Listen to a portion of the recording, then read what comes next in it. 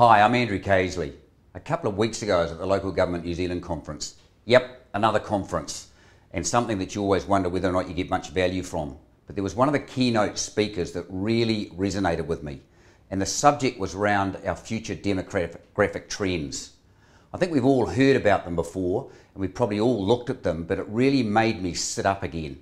And it got me thinking about what our core business is and what the demographic trends in New Zealand are indicating to us.